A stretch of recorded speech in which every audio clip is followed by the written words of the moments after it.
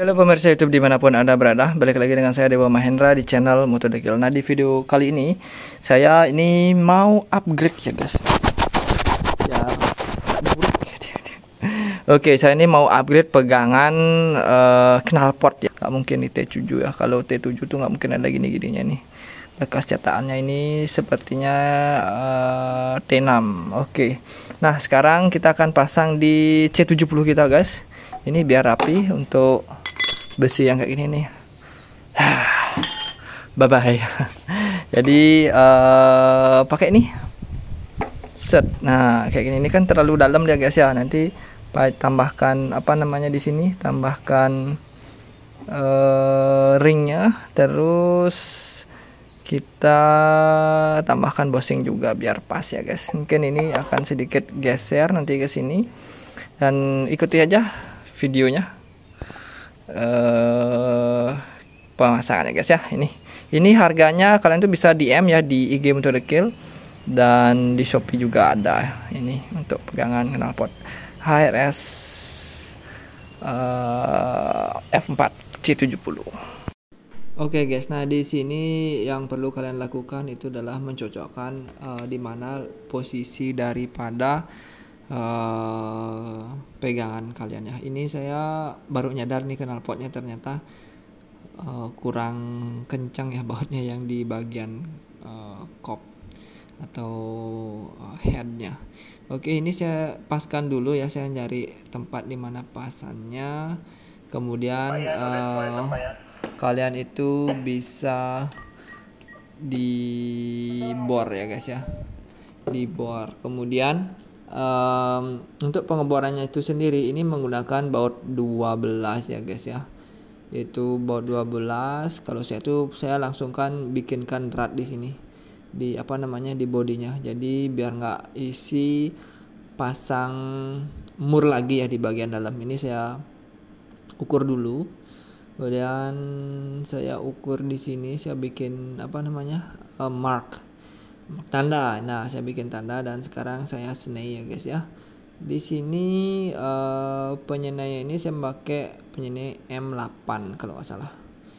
M8 dan untuk bornya saya pakai bor 7 um, ini agak sedikit, agak sedikit susah ya ini untuk penyenaiannya. Tapi uh, pelan-pelan saja pasti bisa nih guys Oke, ini saya coba pasangkan baut satu dulu, guys. Nah, setelah saya pasangkan baut di sini, uh, kendalanya sih nggak ada. Saya menggunakan uh, bosing ya yang sudah disediakan. Nah, di sini setelah satu lubang itu udah saya senai, udah uh, selesai, kemudian saya bikin bracket ya biar tepat bor-borannya. Jadi saya pakai langsung saja pasang ininya di body ya kayak ini seperti yang kalian lihat tuh. Di sini langsung saja kita senai lagi guys. Dan uh, langsung pasangkan bautnya. Setelah yang di atas nah setelah yang di depan dua itu ya.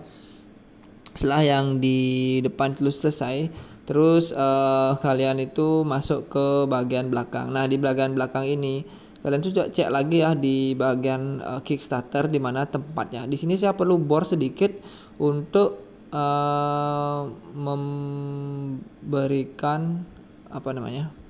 Untuk membuat senayan untuk baut 12 yang di belakang. Ini untuk lubangnya itu sekitar 6 mili ya itu pakai baut 10 tapi uh, ini saya pakai baut 12 ya biar kelihatan besar kokoh gitu ya guys ya Nah, di sini uh, kalian bisa lihat saya sudah uh, coba ini pakai baut tapi kurang kurang bagus ya. Jadi saya buka lagi dan saya senai. Nah, di, uh, kalian perlu lakukan yang perlu kalian lakukan ya yang di belakang ini ya kalian tuh uh, kalau kalian tuh mau pakai baut 12 itu kalian senai aja ya. Uh, saya sarankan sih senai. Uh, kemudian setelah senai itu kalian tuh nggak perlu bikin atau menambahkan uh, apa namanya itu menambahkan mur lagi ya karena udah ada drat dari snake-nya itu drat dari lubang pegangannya ini jadi nggak perlu khawatir gitu guys. Nah ini penyenaian agak sedikit susah.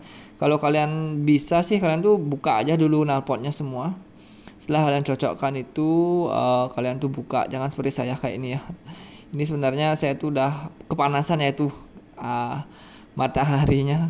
Oh trik banget nih guys. Ini untungnya udah sorry. Lah di sini saya senai proses penyenaian kemudian uh, kalau ini udah selesai kayak ini biar cepat saja ini udah mau uh, ringan untuk bautnya. Nah di sini saya sudah bisa pakai baut 12 ya. Tinggal pakai nggak perlu uh, apa namanya nggak perlu uh, mur lagi guys. Nah di sini tinggal pasang-pasang dan tinggal mengencangkan bautnya. Jangan lupa ya kencang-kencangkan kembali bautnya yang di belakang dan juga di depan. Kalau ini nih cek lagi untuk kickstarternya biar nggak natap di bagian knalpot guys ya. Nah di sini sudah selesai dan sekarang tinggal gas test ride. Oke guys hasilnya seperti ini. Lebih rapi dah daripada pakai besi ya.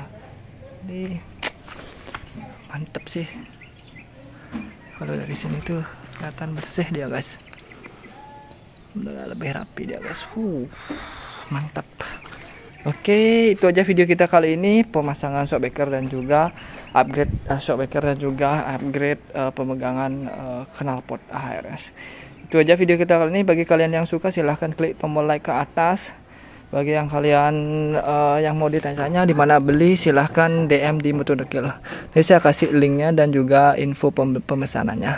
Oke itu aja video kita kali ini. Sampai jumpa di video Mutu Dekil berikutnya. Bye bye.